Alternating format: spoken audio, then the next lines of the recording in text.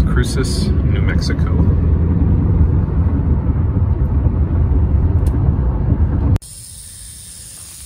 Got a little too close to this guy down here.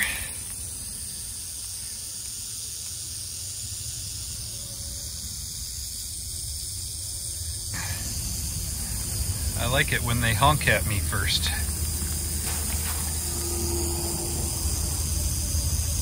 Thanks for the warning, buddy. It's enormous. I mean, that's just, there's a, a shoe reference right there. Wow. Beast. That is the largest solifugid I've ever seen. Beast. Easily. Man, don't you love being in Iraq, Jesse? I mean, for real. Right over there. In a slow catch, right? Yeah. You said the males have that patterning, right? Uh, both the males and the females do. The males are, are more vibrant. The only way you can know for sure is if you flip him over and look at his uh, toes, his front toes. Oh, okay. He is playing dead. This is something I've wanted to see my my whole life, Jesse. I've seen these in field guides. I Uh, uh, yeah. in 2009 I was at the uh, Tarantula Society conference, American Tarantula Society conference. Um, that was the second time I ever met John Skierski. It was right before we were friends, and uh, we we didn't even know that the other was going to be there. And uh, somebody had these on their table there. One of the vendors. I don't think they were for sale. They were just for display.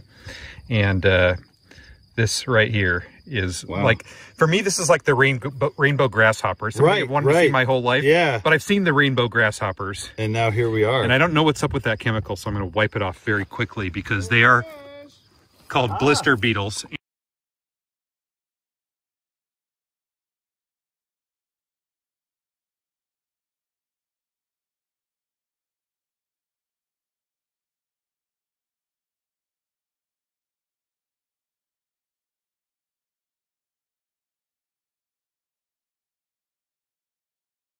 What's this beautiful thing? Ooh, Is it another one? no. Oh my god. Only one of the most beautiful Buprestids I've ever seen. Are you kidding me? Life. That's that's the one that I saw on Bug Guide recently. I thought for Patagonia. Aaron, Holy, Dude! you know what that is? you got so damn fortunate.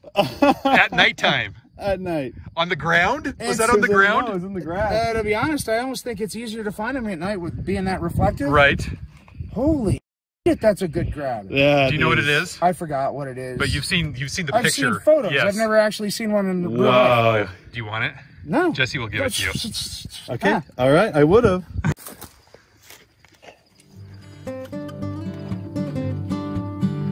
It's always neat to encounter all of the day active insects at night.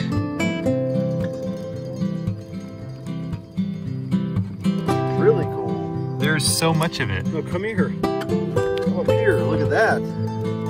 That is such a cool vein. Wow. That is cool.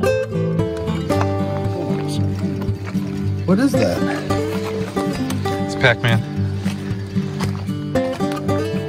Well, it's still catch eye.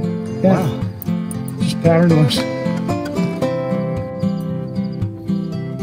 It's Scolopendra castaneiceps here in Chambers. Freehanding it Dumbass. in in sandals.